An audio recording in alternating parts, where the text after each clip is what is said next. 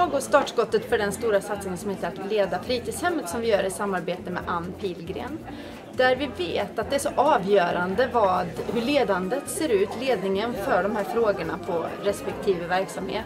Vi vet att en stark ledning skapar mycket bättre förutsättningar ute i verksamheten. Så vi har bjudit in eh, skolledare och nyckelpersoner för fritidshemmen som ska vara med och driva den här frågan.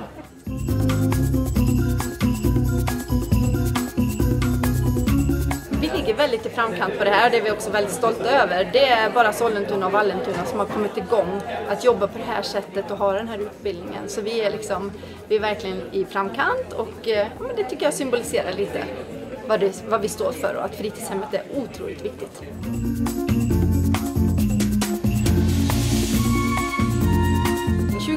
2016 fick vi en ny läroplan för fritidshemmet, eller inte en ny läroplan utan vår första riktiga läroplan på det sättet, där vi faktiskt också har massor med områden och mål som vi ska uppnå på fritidshemmet. Och det har vi inte haft förut, så vi är liksom ett litet skifte.